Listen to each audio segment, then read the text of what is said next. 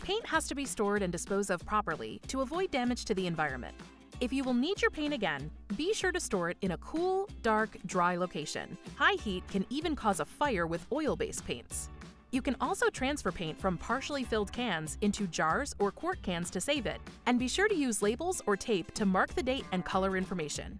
If you have a lot of extra paint, consider donating it to a local community center or charity. Oil-based paints have to be taken to an appropriate disposal or drop-off center. Check your area's municipal website to find a disposal site near you. But latex paints can be disposed of with a few simple steps. Add an equal amount of cat litter to the paint. If you have more than half a can left, you can transfer the paint into a lined box or trash can, then add the cat litter.